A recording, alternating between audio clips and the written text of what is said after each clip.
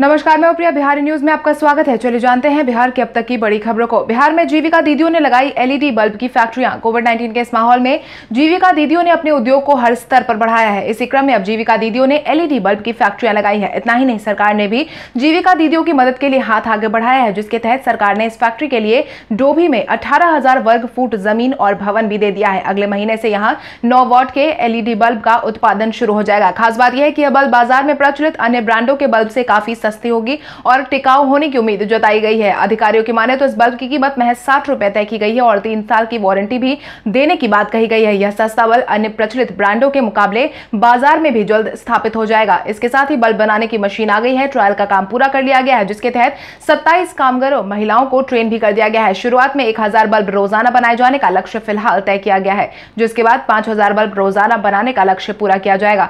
नियोजित शिक्षकों के अंतर जिला तबादले की गाइडलाइन जल्द होगी तैयार। बिहार में सरकारी स्कूल में काम करने वाले लगभग साढ़े तीन लाख नियोजित शिक्षकों और पुस्तकालय अध्यक्षों को राज्य मंत्री मंडल द्वारा नई सेवा शर्त को लेकर के सरकार की तरफ़ से मंजूरी दे दी गई है, जिसके बाद अब उन्हें स्थानांतरण में भी खास छूट मिलने वाली है। खासतौर से दिव्यांगों और महिलाओं से जल्द ही अंतर नियोजन इकाइयों में स्थानांतरण को लेकर आवेदन इस महीने के अंत तक ही मांगे जाने के आसार है। हालाँकि इसके साथ ही विस्तृत दिशा निर्देश तैयार करने होंगे। राज्य मंत्रिमंडल ने सेवा शर्त सुधार के लिए गठित कमेटी की अनुशंसा पर नियोजित शिक्षकों और पुस्तकालाध्यक्षों को एक तबादले का भी प्रावधान दिया है, जिसके तहत उसके लिए विस्तृत दिशा निर्देश तैयार करने होंगे। राज्य मंत्रिमंडल ने सेवा शर्त सुधार के लिए गठित कमेटी की अनुशंसा पर नियोजित शिक्षकों और पुस्तकालाध्यक्षों के ऐच्छिक तबादले का भी प्रावधान किया है।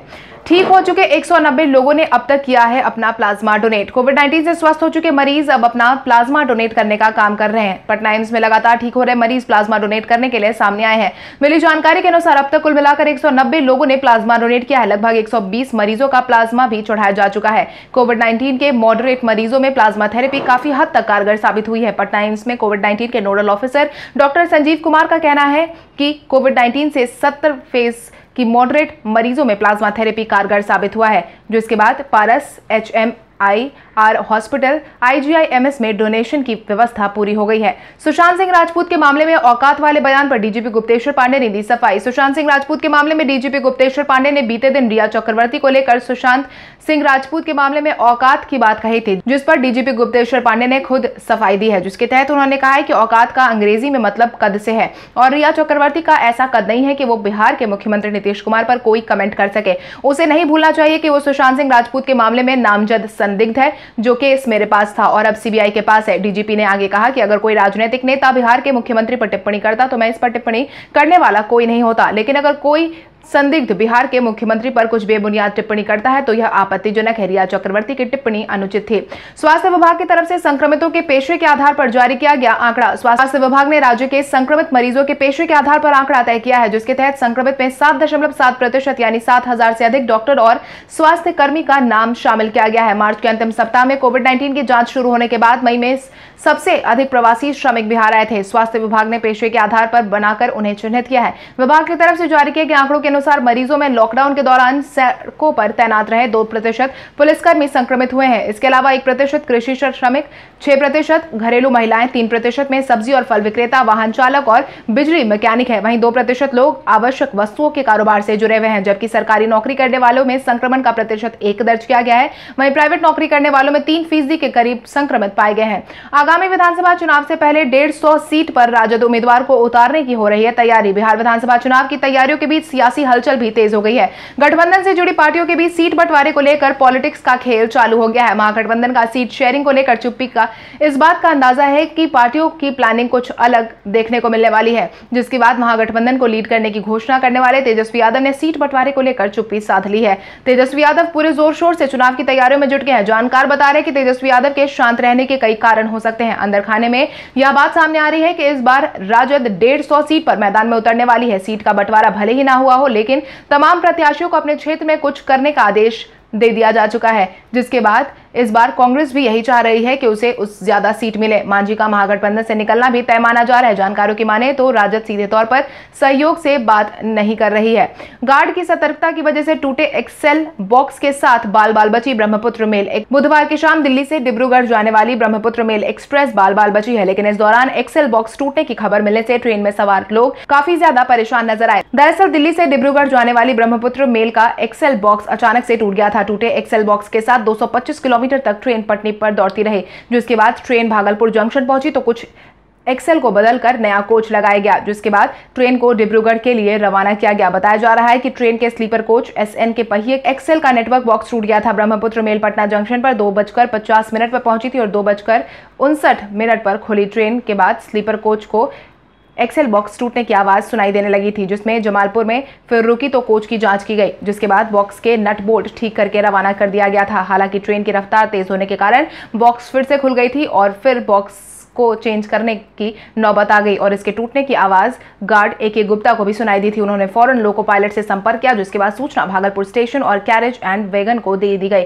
जिसके बाद ट्रेन के भागलपुर पहुँचते ही टूटे एक्सेल बॉक्स कोच को हटाकर नया कोच लगाया गया। सुशांत सिंह राजपूत के मामले में मुंबई पुलिस के असहयोग के बावजूद दस लोगों का बयान दर्ज करने में कामयाब हुई थी बिहार पुलिस। बिहार से मुंबई पहुँची बिहार पुलिस ने सुशांत सिंह राजपूत के मामले में असहयोग के बावजूद 10 लोगों का बयान दर्ज करने में कामयाब हो गई थी। हालाँकि इस जाँच के दौरान पटना पुलिस को भारी फजीहत भी झेलनी पड़ी थी। मुंबई पुलिस ने दिशा सालियान के गुजर जाने से जुड़े कोई कागजात नहीं देने की बात एसआईटी से कही थी। केस से जुड़े लोगों का बयान लेने के दौरान भी मुंबई पुलिस ने किसी तरह का सहयोग नहीं किया था। पटना से इस मामले की जाँच करने मुंबई गई एसपी सिटी विनय तिवारी को क्वारंटाइन कर दिया गया। इसके बाद मुंबई पुलिस बीएमसी के साथ मिलकर एसआईटी में शामिल चार अन्य पुलिसकर्मियों को भी तलाशने लगी ताकि उन्हें भी क्वारंटाइन किया जा सके। गांधी सेतु के पूर्वी लेन पर बीस अगस्त से वाहनों के परिचालन पर लगाई जाएगी रोक। महात्मा गांधी सेतु पुल के पूर्वी लेन की मरम्मत का काम अब शुरू होने वाला है, जिसकी वजह से 20 अगस्त से पूर्वी लेन पर वाहनों के परिचालन पर पूरी तरीके से रोक लगा दी जाएगी। नवनिर्मित पश्चिमी दो लेन पर छोटे और भारी वाहनों का चौबीस घंटे परिचालन देखने को मिलेगा। प्रशासन ने ओवरलोडिंग पर पूरी तरीके से पाबंदी लगा दी है और भारी वाहनों का परिचालन टू वे 24 घंटे अनुमान्य होगा। इसके साथ ही पटना से हाजीपुर और हाजीपुर से पटना दोनों तरफ़ परिचालन हेतु अनुमति दे दी जाएगी, लेकिन किसी भी परिस्थिति में ओवरलोडिंग पर बुरी तरीके से रोक लगा दी गई है। इसके बाद इस संबंध में जिलाधिकारी कुमार रवि ने आदेश जारी कर दिया है। साथ ही डीटीओ और एसडीओ को दिशा निर्देश जारी करते हुए कहा है कि महात्मा गांधी सेतु पर पूर्वी लेन में वाहन संचालित नहीं होगी। इसके लिए पर्याप्त व्यवस्था करनी ज़रूरी है। साथ ही पश्चिमी लेन में वाहनों के परिचालन में परेशानी न हो, इसके लिए पुलिस बल की तैनाती भी कर दी गई है।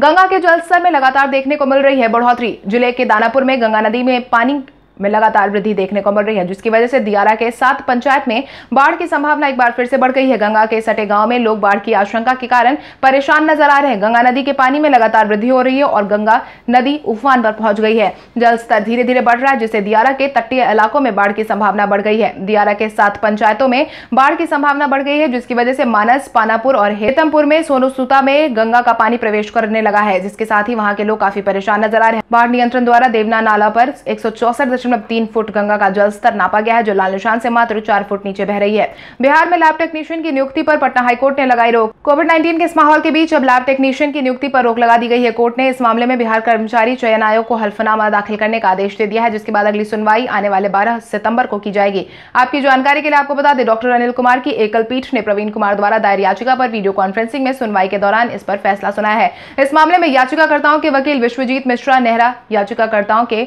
मामले में अदालत ने 30 जून 2016 को एक सुनवाई में कहा था कि उच्च डिग्री उक्त मामले में बाधक नहीं होगी, लेकिन उच्च डिग्री होने के चलते इनके मामले में विचार नहीं किया जाएगा। आपको बता दें, विज्ञापन के अनुसार लैब टेक्नीशियन के पद पर नियुक्ति के लिए एमएलटी डिप्लोमा योग्यता रखी गई है।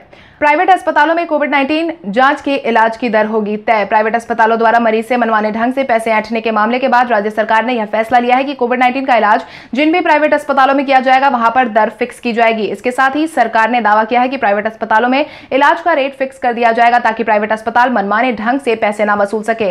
लेकिन इलाज तो चालू हो गया है, पर अभी तक अस्पताल में फिक्स रेट तय नहीं किया गया था, जिसके बाद अब प्राइवेट अस्पतालों में लगातार कोविड 19 मरीजों के इलाज के नाम पर वसूली की बात सामने आने लगी थी। वहीं अब स्वास्थ्य विभाग के प्रधान सचिव ने दावा किया है कि 48 घंटे के अंदर प्राइवेट अस्पतालों में कोविड 19 के इलाज की दर तय कर दी जाएगी। इसके साथ ही स्वास्थ्य विभाग ने प्रधान सचिव प्रत्यय अमृत ने यह भी कहा है कि वो किसी भी हाल में कोविड नाइन्टीन के नाम पर प्राइवेट अस्पतालों को मनमानी नहीं करने देंगे। आपको बता दें, इलाज की दर तय करने की ज़िम्मेदारी डीएम को दी गई थी, पर अब तक कोविड नाइन्टीन इलाज का रेट तय नहीं हो पाया था, लेकिन अब स्वास्थ्य विभाग इस पर गंभीरता से विचार कर रही है। कोविड नाइन्टीन से जान गंवाने वाले बारह लोगों के आश्रितों को सरकार ने दी आर्थिक मदद। कोविड 19 से जान गंवाने वाले बारह लोगों के आश्रितों को सरकार ने अपने वादे अनुसार चार चार लाख रुपए की राशि मुहैया करवाई है, जिसके तहत सहायता राशि के लिए संबंधित एसडीओ, सीओ या अपर स्मारता आपदा से संपर्क भी किया जा सकता है। जिला प्रशासन ने कोविड नाइन्टीन से जान गंवाने वाले बारह लोगों के परिजनों के बीच बुधवार को चार चार लाख की सहायता राशि का वितरण किया है। डीएम कुमार रवि ने कहा है कि सभी एसडीओ और सीओ को अंजलावार कैंप लगाकर सहायता राशि के भुगतान करने का निर्देश दिया गया है। अब तक इकतीस लोगों के आश्रितों को यह राशि सौंप दी गई है। इसमें पटना सदर अनुमंडल के चौदह, पटना सिटी के ग्यारह, दानापुर के तीन, मसौढ़ी के दो और बाढ़ के एक आश्रित शामिल है। सदर एसडीओ तनय सुल्तानिया ने कहा है कि जान गंवाने वाले जयराम शर्मा की आश्रित बच्ची देवी राजेंद्र प्रसाद की, मृदुला देवी, सीता चौधरी की आश्रित, कलावती देवी, राकेश कुमार सिंह के आश्रित, रिंकू कुमार समेत कई लोगों को यह चेक सौंप दिया गया है। आपको बता दें, पथ निर्माण मंत्री नंदकिशोर यादव ने आठ लोगों के आश्रितों को चार चार लाख का चेक सौंपा है।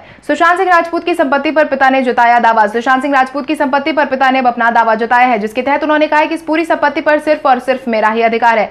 सुशांत के पिता के के सिंह ने प्रेस बयान जारी करते हुए कहा कि मैं सुशांत का आधिकारिक रूप से वारिस हूँ। सुशांत के पिता के बयान को प्रेस में जारी करते हुए यह साफ़ तौर पर एक नोट में भी लिखा गया है कि सुशांत ने अपनी ज़िंदगी में जिन वकीलों की और प्रोफेशनल्स को रखा था, उनकी सेवाएँ ले रखी थी। कानूनी वारिस होने के चलते अब उनकी सेवाएँ सुशांत के जाने के बाद समाप्त करता हूँ। अब ना मेरी सहमति के कोई भी वकील सीए या फिर अन्य को सुशांत की संपत्ति पर रिप्रेजेंट करने का हक मिलेगा, क्योंकि हाल ही में कुछ वकील मीडिया के सामने आकर के सुशांत सिंह राजपूत के वकील होने का दावा कर रहे थे। इन लोगों ने खुद और सुशांत के बीच में कई बातों का ज़िक्र भी किया था। वहीं इस सब बातों का खुलासा इंडियन एविडेंस एक्ट बहत्तर के सेक्शन 126 पर bar council of India rules के तहत वर्जित है। सुशांत के पिता ने लिखा है कि बिना मेरे सहमति के किसी को भी मैं यह अधिकार नहीं देता हूँ कि वो सुशांत को रिप्रेजेंट करे। तो चलिए बढ़ते हैं आज के सवाल की और आज का सवाल कुछ इस प्रकार है। आपके अनुसार प्राइवेट अस्पतालों में कोविड नाइन्टीन इलाज के लिए एक फिक्स रेट तय करने का फैसला कितना सही है? अपने जवाब हमें कमेंट करके ज़रूर बताएँ। इसके साथ ही आज के लिए बस इतना ही। बिहार की बड़ी खबरों से अपडेटेड रहने के लिए हमारे यूट्यूब चैनल को सब्सक्राइब करें और बेलाइकॉन दबाना ना भूले। धन्यवाद।